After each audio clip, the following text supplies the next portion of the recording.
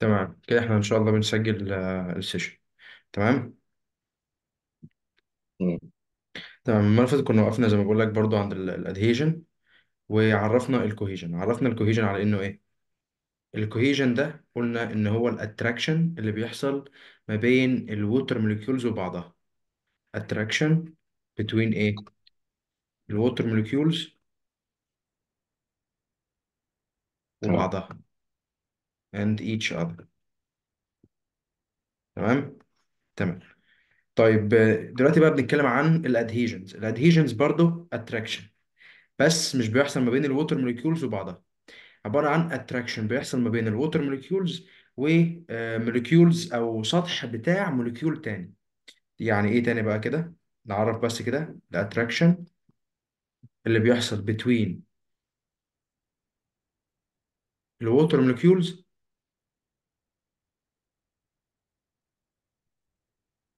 وإيه تاني؟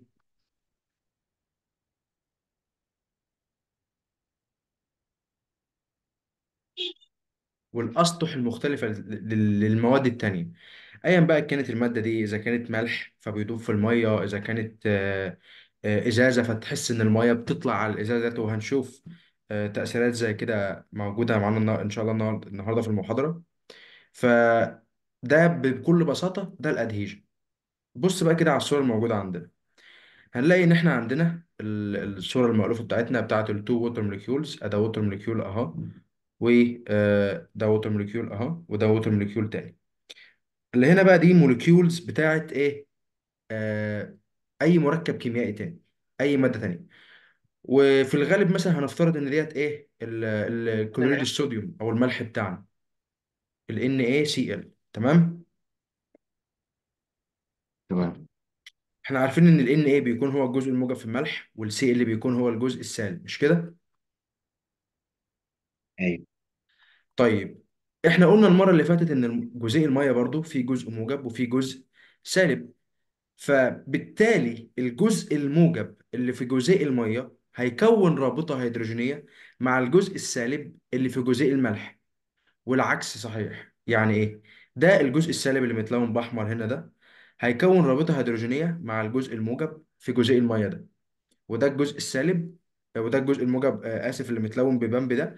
هيكون رابطة هيدروجينية مع الجزء السالب في جزيء المية أهو. فلما يكون رابطة مع جزيء مية ورابطة مع جزيء مية تاني يعني الجزء ده كده يكون رابطة مع الجزء ده من المية والجزء ده يكون رابطة مع الجزء ده من المية بيبدأوا الاتنين يبعدوا عن بعض. بيبدأوا الاتنين إيه اللي يحصل لهم يبعدوا عن بعض. فاللي يحصل إن الملح يبدأ يدوب في المية ولازم نركز كمان في الكلمة دي بيبدأ إيه؟ يدوب في المية. فتلاقي إن ال- الجزء الموجب بعد لوحده كده ده جزء موجب أهو والجزء السالب بقى لوحده برضه.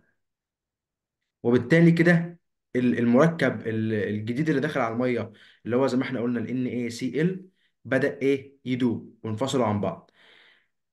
يدوب بالإنجليزي يعني إيه بيحصل له ديس آه آه بي dissolve في المية تمام؟ والمذيب بقى اللي هو المية اسمها solvent.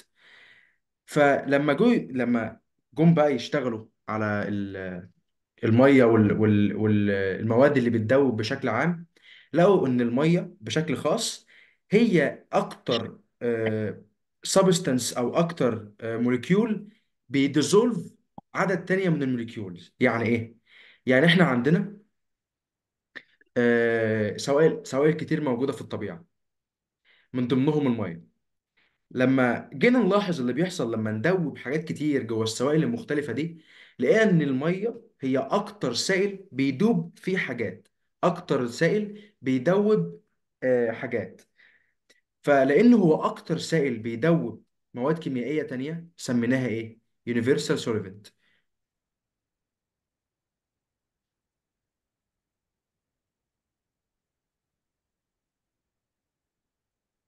أو مذيب عام.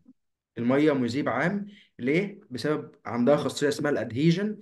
الأدهيجن ده بيحصل لما جزيئات المية تكون روابط هيدروجينية مع جزيئات بتاعه مادة تانية. جزيئات المادة اللي ده اللي دخلت جوه المية ده تبدا تبعد عن بعضها. فيحصل لها إيه؟ ديزولوشن أو دي- بتديزولف جوه المية بتدوب جوه المية. فإيه؟ كده سميناها مذيب عام. وقلنا عام ليه؟ علشان هي أكتر سائل بتدوب آه، المية بتدوب آه، حاجات بشكل عام يعني أو المية هي أكتر سائل بيدوب مركبات. دكتور. اتفضل يا غالي. دكتور ما ينفعش نشرح من الورق عشان ابقى اعرف اذاكر منه بتاع الجامعة؟ من ال ما فيش مشكلة.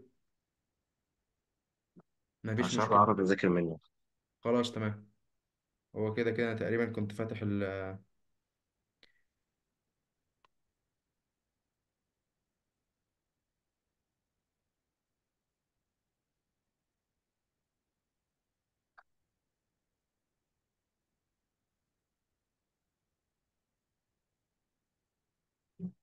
إحنا كنا بنتكلم فين؟ في إن المية عبارة عن يونيفرسال سوليفنت مش كده؟ أيوه. هي دي النقطة اللي إحنا بنتكلم فيها.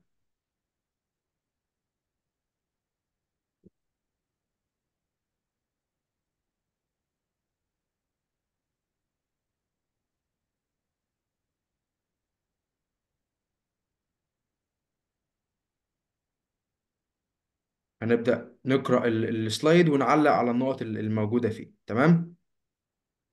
تمام. تمام.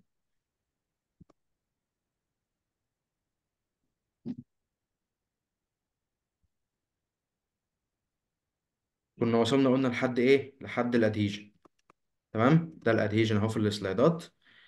قلنا وعرفناه إن هو ال attraction اللي بيحصل ما بين ال water حلو و other surfaces أو other substances أو الأسطح المختلفة لمواد تانية. زي ما أنت شايف كده عندك حتى في الصورة الموجودة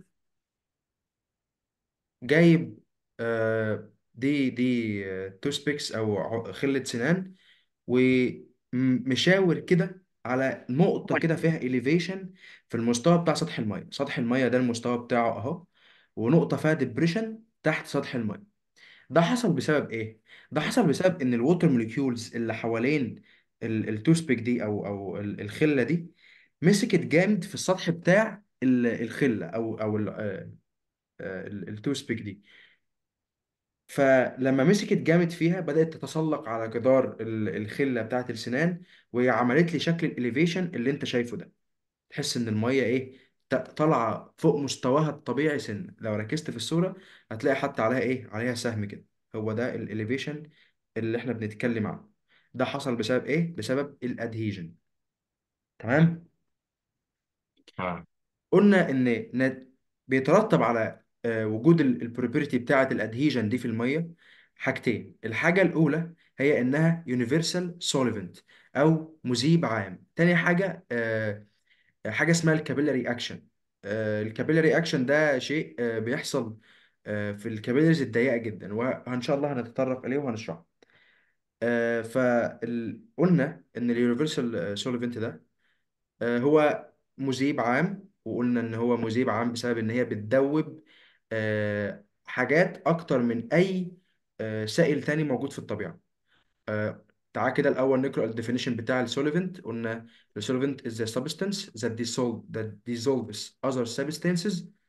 Water is an ex uh, is an excellent uh, solvent because of its hydrogen bonds فاكر لما قلنا إن ال hydrogen bonds هي أكتر حاجة بتميز المية أيوه هنا أهو ده برضو تأكيد على نفس الكلام تاني فترجمة الكلام ده إيه؟ بيقول لك إن المية أو آه آسف ال definition بتاع ال solvent أو المذيب هو المادة اللي بتدوب حاجات تانية فيها حلو؟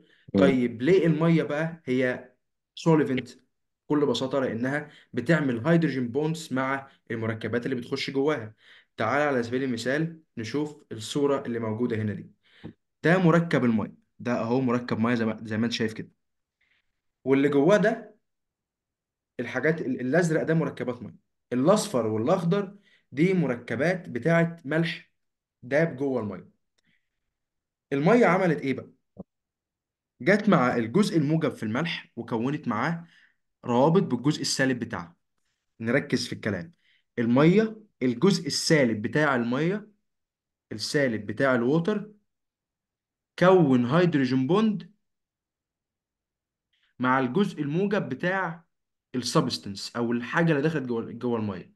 والجزء الموجب بتاع المية برضه هيعمل hydrogen bond مع ال- ال- الجزء السالب في ال substance حلو الكلام؟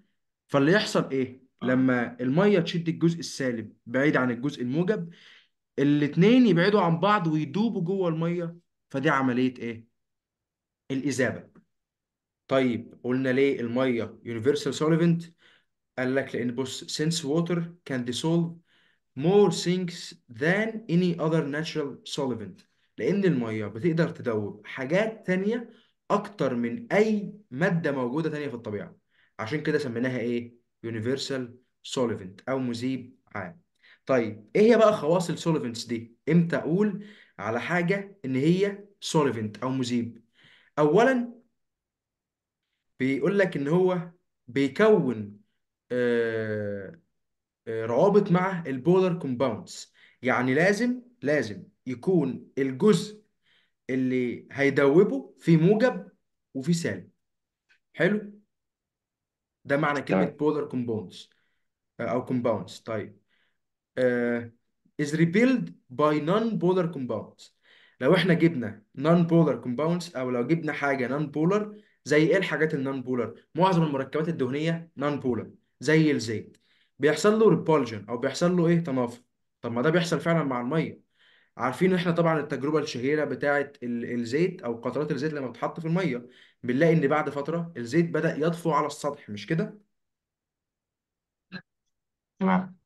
ده بسبب إن جزيئات المية بتعمل repulsion لجزيئات الزيت والزيت non-polar compound فبالتالي ده شرط متوفر في المية. المية ب- بتطرد الجزيئات ال non-polar زي الزيت أو المواد الدهنية. عشان كده بيقول لك لما إيدك تتوسخ بشحم أو لما تكون واكل آه، وجبة فيها أو مليانة دهون المية مش هتخرج الدهون من إيدك لكن الصابون بيخرج الدهون مش كده؟ ده السبب بقى أيوه إن المية بيحصل لها repulsion من ال non-polar compounds فبالتالي مش هتعرف تدوبها. طيب. مم.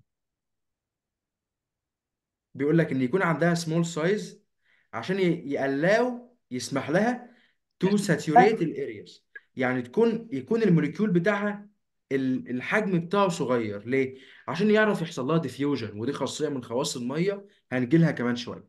يعني نراجع كده على الثلاث خواص بتوع أي solvent لازم يكونوا متوفرين فيه. أول حاجة لازم يكون بيكون روابط مع جزيئات فيها موجب وسالب يعني هو فيه موجب وسالب وبيتفاعل مع حاجات فيها موجب وسالب ماشي؟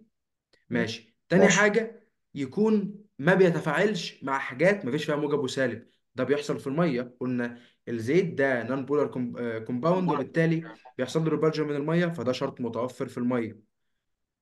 طيب تالت تمام. حاجة يكون ال size بتاعها صغير وده شرط متوفر في المية لأن المية بيحصل لها diffusion طيب إيه بقى اللي يحصل لما يكون الحجم بتاعه صغير؟ قلنا إن هو ال- ال- المناطق المختلفة. على حسب التشبع بتاع الأملاح في منطقة عن منطقة تبدأ المية ت- تشبع المناطق دي. وده فعلا بيحصل في المية زي ما قلنا وهنشوفه كمان شوية. تمام. رابع حاجة بيقول لك إن هي can convey other substances in solution. آه، من الآخر كده إن هي تقدر آه، تدوب ال- أو أو تتفاعل مع ال- المركبات ال- الأخرى آه، في في قلب ال- المحلول بتاعنا المتكون. المية دي مش تقدر ت- آه، زي ما إحنا قلنا تقدر تدوب أكتر من آه، من solvent آسف أكتر من من substance آه. فبالتالي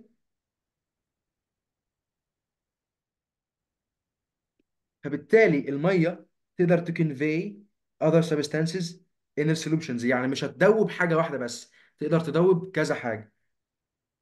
حلو. أي حاجة non-polar compound أو أو polar compound المية تقدر تدوبها. فبالتالي برضو ب- بتمشي أو ب- بتطبق عليها الشرط الرابع اذا دي الأربع شروط أو الأربع خواص بتاعة ال solvent والمية بالفعل بتطبقهم. فبالتالي المية بقت إيه؟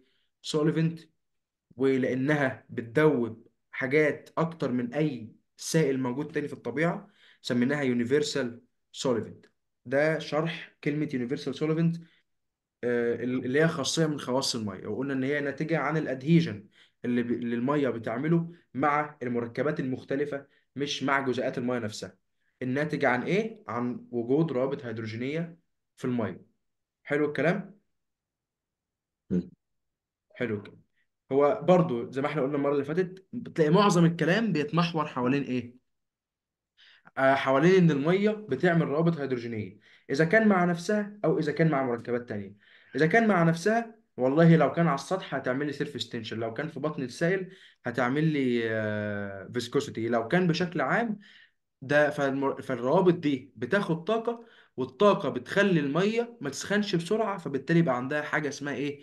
high specific heat آه، اتكلمنا بعدها عن ال adhesion إن برضو المية فيها hydrogen bonds وتقدر تعمل hydrogen bonds مع آه، أسطح لمركبات تانية غير المية. فبالتالي لما تعمل hydrogen bond مع مركبات آه، polar يعني مركبات فيها جزء سالب وفيها جزء موجب فتدوبها فبالتالي تبقى اسمها universal solvent نيجي على الجزء الثاني اللي عليه الدور اللي هو إيه؟ ال capillary action ال capillary action ده بيحصل بسبب إيه؟ بيحصل بسبب إن ال- المية آه، بت بت بت بتجذب السطح بتاع ال- ال capillary آه، أو ال tube. في البداية كده. يعني إيه capillary؟ ال capillary ده يعني آه، شعيرة. آه، كنا إحنا آه، خدنا في ثانوية عامة حاجة اسمها الخاصية الشعرية. آه، عدت عليك الكلمة دي قبل كده؟ لا. هي عامة هي هي نفس كلمة ال capillary action دي الترجمة بتاعتها. الخاصية الشعرية. ال- المية من من ضمن ال- ال- الخواص الغريبة اللي عندها إنها بتكون أو بتجذب سطح الإزاز أو سطح الجدار ال- اللي موجود هنا ده. ايا كان بقى إذا كان إزاز فبتطلع إذا كان آه، أنسجة من أنسجة النبات فبرضه آه، بتج- بتجذب السطح ده. الصورة اللي هنا دي بتوضح لنا ال capillary action اللي بيحصل إيه؟ اللي بيحصل إن كل آه، كل ما القطر بتاع ال tube أو الأنبوبة دي بيصغر كل ما ال- المية بتتسلق الجدران بتاعة ال tube وتبدأ تطلع لفوق أكتر. فتلاقي إن هنا ده في الأول هنا ده ال radius بتاعه أو القطر بتاعه واسع جدا. فبالتالي الارتفاع بتاعه ما كانش عالي قوي ده الارتفاع بتاعه. هنا ال radius أصغر شوية من ال- ال tube رقم واحد. هنا ال tube رقم اتنين وهنا ال tube رقم تلاتة. فالمية طلعت لارتفاع أعلى. ال tube رقم ثلاثة المية طلعت ارتفاع أعلى خالص لأنها أضيق radius الخاصية دي بيعتمد عليها النبات علشان يسحب المية من التربة لأن النبات بيكون فيه آه، شعيرات دقيقة جدا. فالمية لما بتلاقي الشعيرات الدقيقة دي قلنا بتعمل حاجة اسمها ال capillary action وتبدأ إيه؟ ت climb ال- السطح أو ت climb بال tube دي عكس قوة الجاذبية لأن الجاذبية بتكون بتشد ال water لتحت كده. ولكن هي بت climb بعكس الجاذبية تعال نقرأ بقى المكتوب في ال capillary action بيقول لك water is able to climb objects against آه، ال gravity ده ال definition بتاع ال capillary action وده اللي شفناه فعلا هنا في الصورة طيب uh, wettable surfaces cause a film of water to partially pull away from other water molecules and cling to the surface of, uh, of طبعا إيه uh, of the wettable surface يعني uh, يعني إيه بقى الكلام ده؟ الكلام ده بكل بساطة بيشرح لنا ال ال الآلية فعلا أو ال mechanism بتاع آه، ال- المية لو السطح اللي عندنا ده سطح قابل آه، لل- للتبلل أو المية تقدر تبله. المية لما بتبل السطح ده قلنا بتشبع ال- المحتويات بتاعته وتبدأ يبقى منها بواقي موجودة على ال surface بتاع المادة دي أو ال wettable surface ده. وده اللي بيخليها تعمل آه، زي ما يكون برضو نفس الفيلم بتاع ال surface ten فاكر ال surface tension اللي خدناه المرة اللي فاتت.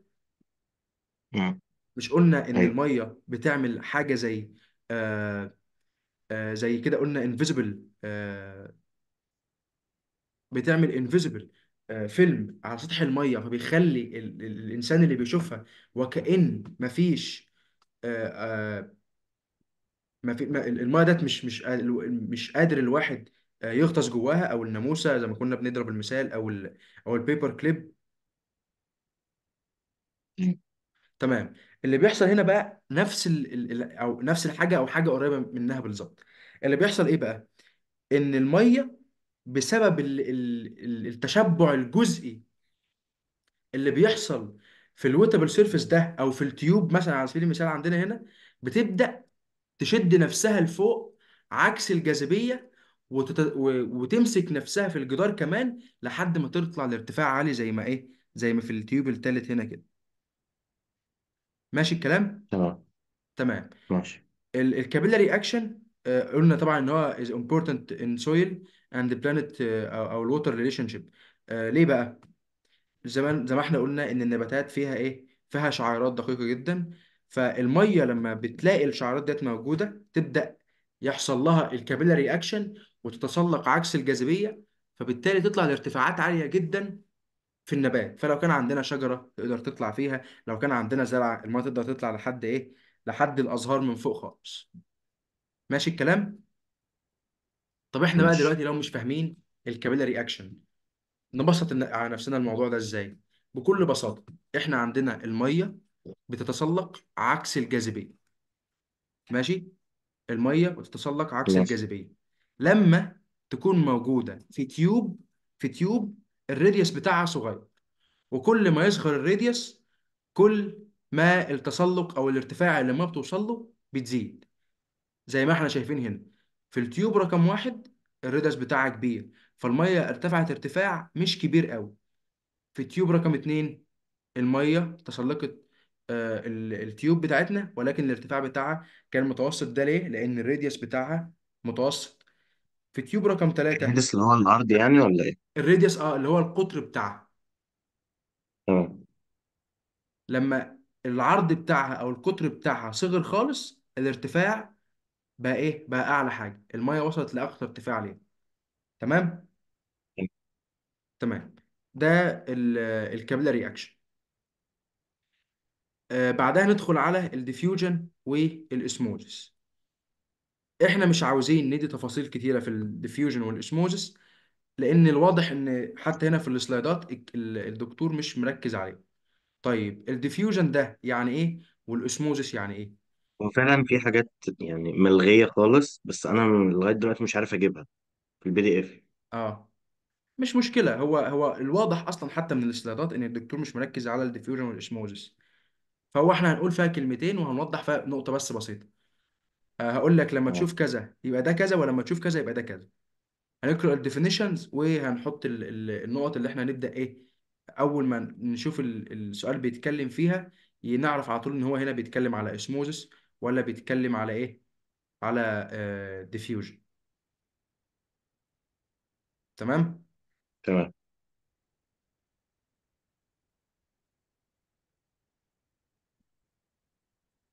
طيب ال diffusion ده يعني إيه؟ ال diffusion ده يعني النفاذية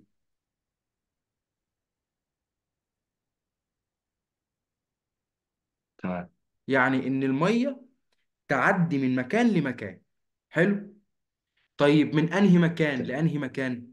من high concentration ل low concentration ماشي؟ تمام يبقى لما أقول ماشي. لك المية حصل لها diffusion يبقى المية كانت في مكان هنا عالي عالي في التركيز بتاع المية. ونركز في كلمة تركيز المية. راحت لمكان منخفض في تركيز المية. تمام. ده اسمه diffusion أو ك definition بقى هي ال tendency of the substances to move from areas of high concentration to areas uh, of low concentration. يعني هي رغبة المية أو المركب بتاعنا ده إنه يمشي من منطقة فيها concentration عالي أو تركيز عالي لمنطقة فيها concentration قليل. تمام؟ تمام. نبصمجها إزاي بقى من الآخر؟ لو قال لك إن المية اتحركت اتحركت من المية نفسها اتحركت من high concentration في المية نفسها ل low concentration في المية نفسها يبقى ده diffusion حلو. تمام؟ يبقى المية تمام. بتتحرك من منطقة المية فيها كتير لمنطقة المية فيها قليلة. ده ال diffusion طيب تمام ال osmosis بقى. ال osmosis هو العكس. اللي بيحصل إيه؟ اللي بيحصل زي ما أنت شايف كده على ال U shape tube ده أو ال- ال tube اللي على شكل حرف U الصورة اللي تحت دي. اللي حصل إيه بقى؟ اللي حصل إيه؟ إن المية بتقول إيه؟ أيوه معاك. تمام. اللي حصل إن المية كانت موجودة في مكان كتير قوي ومكان تاني قليل قوي. أو المية كانت موجودة high concentration في مكان و low concentration في مكان تاني.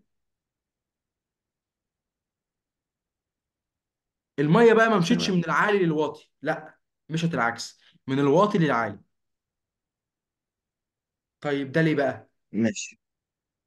ده ليه بقى؟ ده بسبب خاصية ال osmosis. خاصية ال osmosis عشان تحصل لازم يكون عندي شرط مهم جدا. إن يكون في حاجة اسمها selective permeable membrane أو selectively permeable membrane يعني غشاء اختياري النفاذية غشاء مش بيسمح بمرور أي آه، أي مية أو أي مركب ع- عن عن طريقه يعني الغشاء ده مش بيسمح بمرور المية من آه، من اليمين للشمال أو من الشمال لليمين. لأ ده بيسمح لمرور آه، مركبات معينة بس تعدي من خلاله ماشي؟ يبقى ده الشرط أول شرط عشان نبدأ نقول إن في اسموزس بيحصل. طيب إيه تاني بقى؟ لازم يكون في محلول ج- آه، أو أو في حاجة دايبة جوه المية. لازم يكون في مواد دايبة جوه المية. لأن المية لو لوحدها يبقى أنا كده بتكلم على ديفيوجن المية لو معاها solutes أو مواد دايبة فيها يبقى أنا كده بتكلم على osmosis ماشي؟ ماشي. طيب وقلنا إن ال osmosis المية بتتحرك عكس ال diffusion يعني من مكان فيه المية قليلة لمكان فيه المية عاليه تمام. لمكان فيه المية قليلة لمكان فيه المية إيه؟ عاليه علي يبقى عكس إيه؟ ال diffusion. ماشي. طبعا بقى إحنا لو عايزين نزود كلام زيادة وعايزين نفهم الم- الموضوع أكتر يعني هنقول إيه بقى؟ هنقول إن المية قليلة في المكان ده بسبب إيه؟ بسبب زيادة ال solutes ال- المحاليل أو الحاجات اللي دايبة في المية. لأن هما الاتنين لهم علاقة عكسية ببعض. لو زادت المواد اللي دايبة جوه المية اللي يحصل إيه؟ أيوه. اللي يحصل إن المية نفسها تقل. طيب ولو قلت تمام. المية ال solutes ال solutes تقل آه، تزيد آسف. هما الاثنين علاقة عكسية ببعض. فالمكان اللي فيه مية عالية فيه solutes قليلة. فالمية بتتحرك حلو. عشان تعادل ال solutes آه، مع بعضها أو تعادل التركيز بتاع المواد اللي دايبة جوه المية. فعشان تعادل التركيز ده تعمل إيه؟ المكان اللي فيه محاليل كتير قوي أو اللي فيه آه، مواد دايبة في المية كتير قوي. عاوز المية تمشي من عنده علشان يزود تركيزه وتروح للمكان التاني اللي التركيز فيه قليل تزوده. حلو الكلام. ده لو إحنا تمام عاوزين نزود كلام. لكن أنا أنا مش عاوز بس أعقد الموضوع عليك. آه، هي بكل بساطة إن المية بتمشي عكس الديفيوجن من مكان فيه المية عالي قليلة لمكان فيه المية عالية. تمام؟